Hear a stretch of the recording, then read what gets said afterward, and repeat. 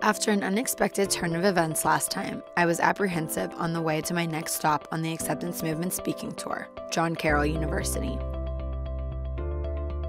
Last time, we learned last minute that we weren't allowed to interview our audience members, the Washington Redskins cheerleaders. My fingers were crossed that this time everything would go according to plan.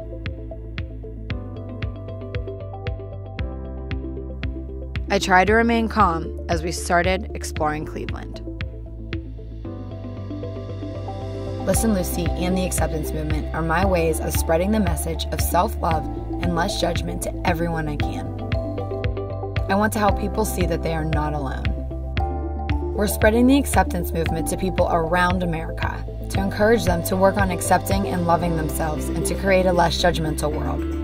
My very first speaking tour takes us to Washington, D.C., Cleveland, Ohio, and my hometown, Pittsburgh.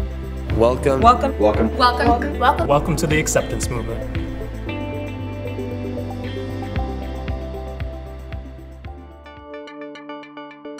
I was definitely experiencing some anxiety. Come on, it's me. But overall, I was mainly excited to meet the students of John Carroll University.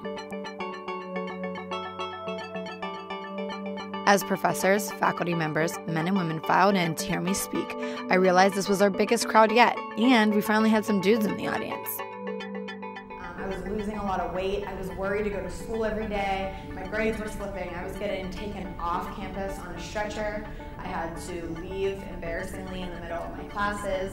10 years ago, the stigma around mental health was even worse. So the idea of going to therapy was so embarrassing to me.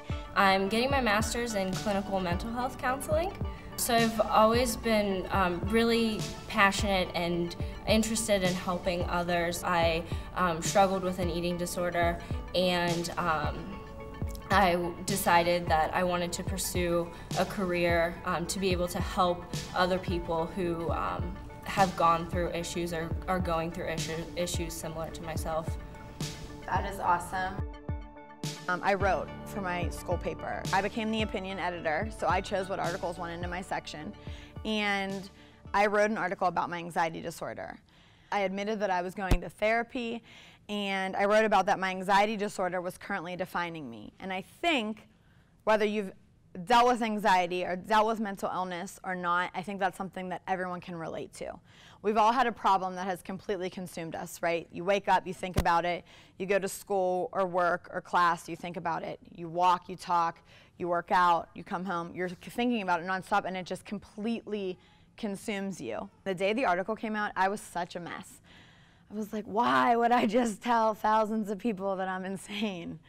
Why would I tell all these strangers that maybe didn't see me getting taken off campus in a stretcher, that maybe just thought I was just a regular run-of-the-mill student, why would I admit to them that I have anxiety disorder? I, I suffer from anxiety disorder, and um, a lot of my anxiety has been coming back for the last few weeks, and it's just really hard on me.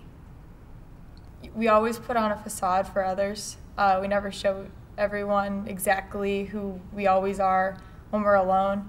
I started getting all these messages. All of these people that had sat next to me in class that didn't know what I was going through, professors, faculty, that were like, oh my God, this is so brave that you told your story. I can't even tell you the weight that it lifted off my shoulders. I wasn't expecting that at all. Having strangers tell me that didn't have to unconditionally love me, that didn't even have to like me or even acknowledge that they read the article, having them reach out to me and accept what it was, it was like, oh my God, this isn't that big of a deal. Like, I put so much pressure on it. I was so worried about it that I didn't think that no one else was worried about it because everyone is dealing with their own thing. And it was cool to them that I decided to be so open and share. And I think that's when the idea of Listen Lucy came to be, which was many years before when it actually came to be. I think it's harder accepting yourself because you see the good, the bad, and the ugly at all times. Uh, with others, you uh, choose what you see. Um, yourself, you're around 24 hours a day, seven days a week. The students I spoke with reaffirmed what I so firmly believe. It is very much harder to accept yourself than to accept others around you. But I'm so happy that they were comfortable enough to talk about their issues. The stigma surrounding mental health disorders isn't gone, but it's less prevalent than it was 10 years ago and there's no doubt that the acceptance movement is growing. I vow to accept that I am a work in progress. I vow to accept um, that my flaws don't make me damaged, they make me a better me. I vow to accept that I am striving for progress and not perfection. I vow to accept that I will be able to continue with my journey. Next time on the acceptance movement, we bring our tour home to Pittsburgh and learn the hard way just how necessary it is for us to be talking about mental health.